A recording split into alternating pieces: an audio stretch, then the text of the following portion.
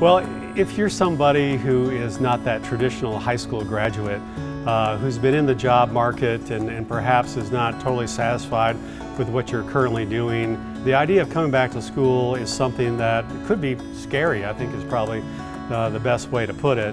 Being the oldest guy in class, that really just kind of threw me for a curve. I felt like I was out of place, like I didn't belong. And it took me a little while to get that out of my head and like, hey, you know, we're all here for the same reason.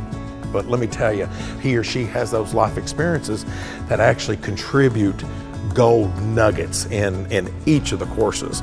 They already got the experience, they've got things that they bring with them that help guide the other student. I have to offer these young students experience. I know things and understand how things work in ways that they don't, and I'm able to show them and they're able to show me some of the technology side of it. And so it's a mutual benefit for both parties, actually. You know, it's, it's a win-win. And then couple that with the idea that you're going to get the best support in the United States in terms of tuition, um, and then get the, the best teaching, the best equipment, uh, the partnerships that we have with local companies. They're going to put you right on track for that job. Uh, to me, that should take a lot of that fear away.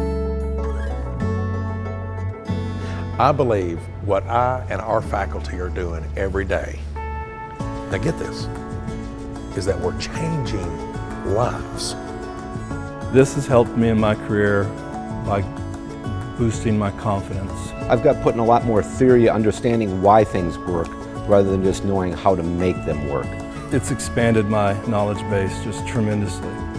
I can do my job much more efficiently and more confidently than I could before.